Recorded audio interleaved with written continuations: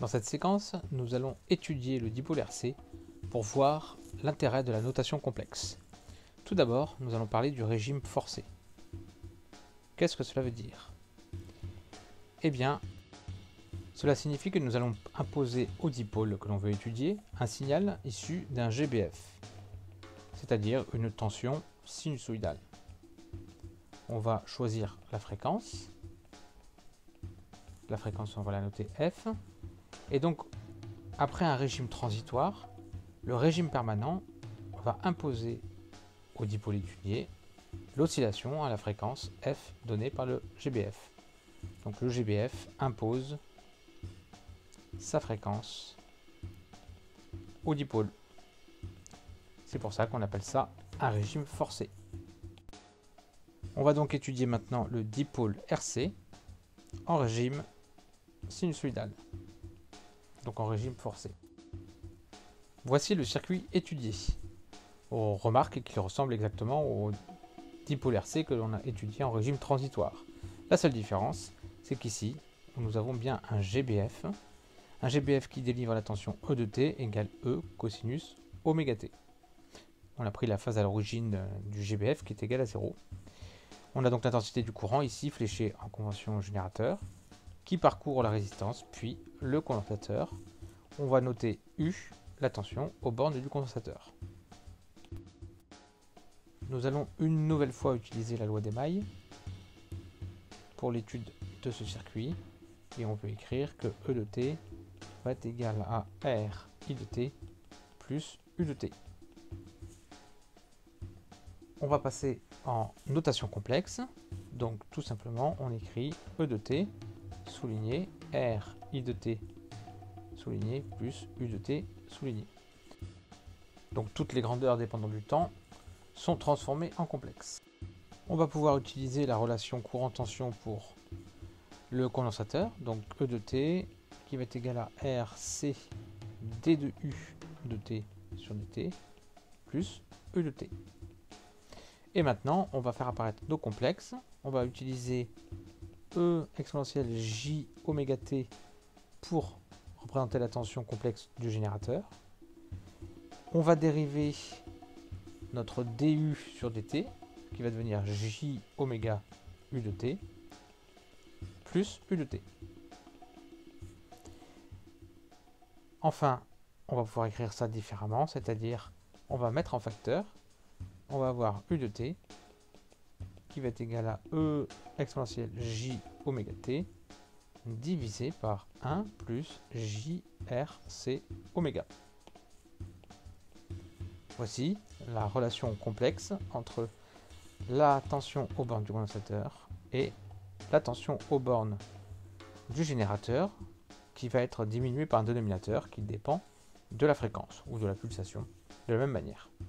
On se rend compte ainsi qu'à l'issue de la loi des mailles, on n'obtient plus d'équation différentielle, mais une équation en complexe. Donc au lieu de traiter une équation différentielle à résoudre, eh bien on va résoudre entre guillemets un problème complexe. C'est là un des grands intérêts de la notation complexe, de faire disparaître la notion d'équation différentielle. Comment solutionne-t-on ce problème? C'est-à-dire avoir la tension réelle aux bornes du condensateur en fonction de la fréquence eh bien, on va passer par l'amplitude complexe. Donc, on va écrire que U de t, c'est égal à U exponentielle J phi exponentielle J oméga t. En effet, on considère que la tension de sortie au bornes du condensateur va être de même forme que la tension d'entrée puisque c'est un régime forcé. On fait juste apparaître une phase à l'origine en plus puisqu'il peut y avoir un déphasage entre la tension d'entrée et la tension de sortie euh, créée par les dipôles R et C qui sont dans le circuit. Donc ceci est égal à E exponentielle J oméga t sur 1 plus JRC oméga. on a choisi bien sûr la même expression exponentielle J oméga t puisque les signaux sont synchrones. Donc on va pouvoir faire disparaître ce terme là. Et on va dire que l'amplitude complexe est égal à U exponentielle J phi est égal à E sur 1 plus J RC oméga. On peut faire apparaître le taux. le taux du circuit qui vaut toujours RC, temps caractéristique euh, du dipôle RC, et on aura E sur 1 plus J taux oméga. On a donc ici un nombre complexe. Ici, on a aussi un nombre complexe écrit sous sa forme polaire. Donc on sait que si on veut avoir le U, il va falloir prendre le module de ce nombre complexe. Et si on veut avoir le phi, on va prendre l'argument de ce nombre complexe. C'est ce que nous allons faire tout de suite. On va donc dire que le module de U souligné, l'amplitude complexe, va être égal à U, l'amplitude réelle, qui est égal au module de E sur 1 plus J tau oméga. Et on sait que le module d'un rapport de complexe est égal au rapport de module. On va donc avoir le module de E sur le module de 1 plus J tau oméga, ce qui fait E divisé par racine de 1 plus tau carré oméga carré. Et on a obtenu directement notre amplitude réelle du signal de sortie, le signal aux bornes du condensateur. Pour obtenir le phi, la phase à l'origine de la tension de sortie, il faut prendre l'argument de l'amplitude complexe, c'est-à-dire l'argument d'un rapport, c'est l'argument du numérateur moins l'argument du dénominateur, donc argument de E moins argument de 1 plus J tau oméga. L'argument de E, un réel, vaut 0, on a donc moins argument de 1 plus du taux oméga à calculer. Pour avoir l'argument, il est plus facile de passer par la tangente. On va donc écrire que tangente phi est égal à moins, le moins c'est le moins qui est ici, et l'argument de 1 plus j oméga, ça va être la partie imaginaire de 1 plus j oméga sur la partie réelle 1 plus j tau oméga. Mais attention, maintenant avant de passer à l'arc tangente, il faut vérifier une chose. En effet, la valeur de tangente peut correspondre à deux angles différents, puisque la tangente est définie à pi près. En effet, si on regarde le cercle trigonométrique, la tangente est représentée par la droite ici, tangente au cercle donc.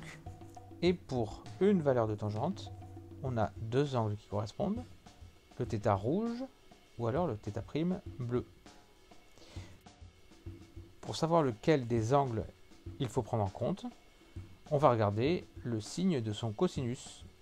Et donc son cosinus est relié à la partie réelle du complexe. Donc on va regarder le signe de la partie réelle. Si la partie réelle est positive, le cosinus est positif et donc on est à l'angle rouge. Si le cosinus est négatif, la partie réelle est négative, alors on aura l'angle bleu. Et on voit sur ce schéma que entre θ et θ', il y a un angle pi. C'est ce qui est indiqué ici. On revient à l'expression de notre tangente. Donc on va pouvoir calculer la partie imaginaire, c'est tau oméga divisé par la partie réelle 1. Et ensuite, on peut directement prendre l'arc tangente. Ça va donc faire phi égale arc tangente de moins taux oméga, ce qui fait phi égale moins arc tangente par les propriétés de la fonction arc tangente de taux oméga. En effet, on a pris directement l'arc tangente puisque le signe de la partie réelle de ce complexe est positif, puisque la partie réelle vaut 1. On a tout pour écrire notre signal de sortie réel, U de t, est égal, donc le module de l'amplitude complète qu'on a trouvé, E sur racine de 1 plus tau carré oméga carré, un cosinus, oméga t pour les signaux synchrones, donc même fréquence, même pulsation que le GBF, moins arctangente de taux oméga qui représente la phase à l'origine ou du coup le déphasage puisque la phase à l'origine du générateur était égale à 0. Donc on a ici le déphasage par rapport au signal d'entrée. Voici le signal réel obtenu grâce au complexe et non grâce à la résolution d'une équation différentielle. Il faut savoir que la résolution de ce genre de problème peut se faire avec euh, l'équation différentielle et non l'utilisation des complexes. Mais cela s'avère compliqué, il y a des calculs trigonométriques à faire. Et donc dans les circuits euh, qui sont compliqués, il est plus simple d'utiliser les complexes.